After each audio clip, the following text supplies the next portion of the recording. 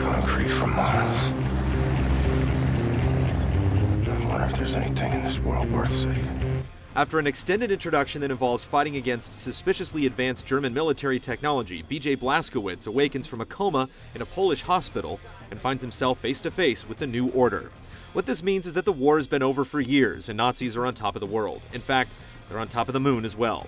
Wolfenstein has always been about delivering bloody comeuppance to modern history's most hated villains, so you're going to be killing plenty of Nazis wherever you find them. So long as you don't get in the way of me killing Nazis, we'll see eye to eye.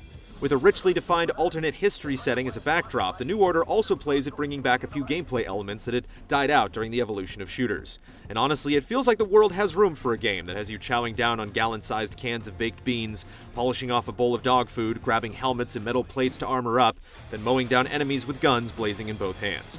What have you been up to, Blazkowicz? Shooting, stabbing, strangling Nazis.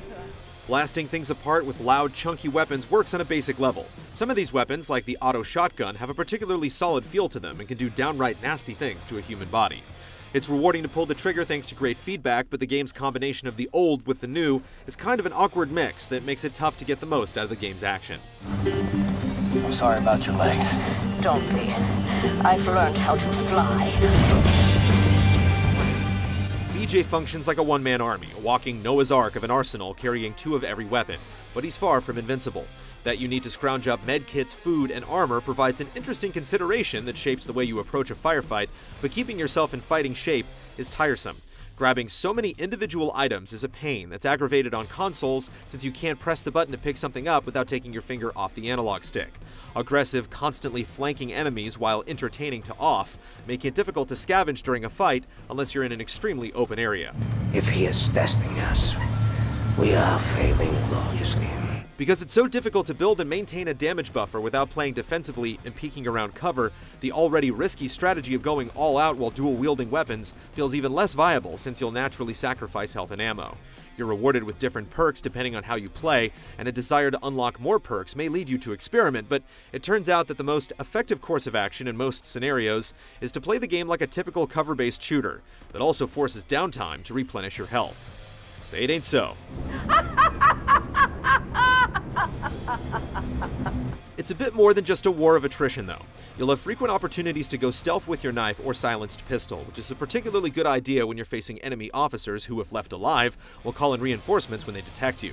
Even though the sneaking and snuffing are quite basic, and playing this way will expose National Socialists as unobservant ninnies, it's ultimately a good thing for the game's pacing, and helps players manage the game's increasingly stiff level of challenge.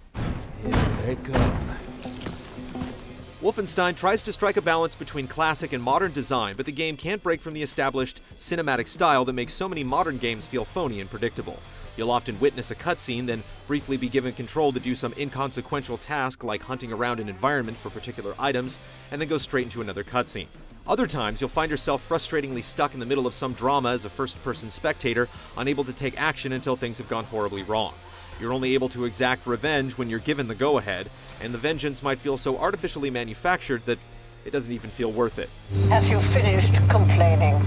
These Nazis aren't going to kill themselves, though, and the New Order will take you on a fairly lengthy tour of duty that's sometimes capable of impressing and even surprising you with environments detailed enough to feel like real places rather than simple video game levels.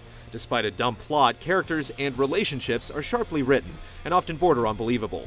For now, this is top priority. There's also a second timeline in the game that provides minor differences in the experience if you decide to save one character over another, incentivizing a second playthrough if the first dozen hours didn't satisfy your bloodlust.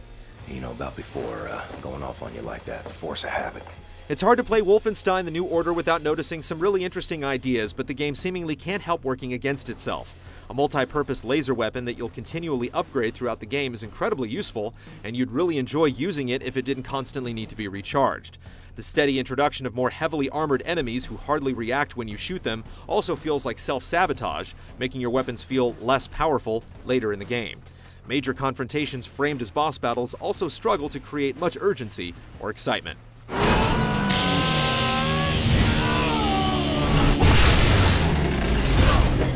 Wolfenstein The New Order suffers from minor inconsistencies in nearly every aspect of the game, from its storytelling to its action. But the good news is, the game never feels consistently bad. Things are at least kind of interesting, even when the pace lags or the story and gameplay don't quite line up. And from minute to minute, you're engaged in meaty, challenging combat that rewards smart tactical play that results in plenty of dead Nazis. Even if there are a few kinks.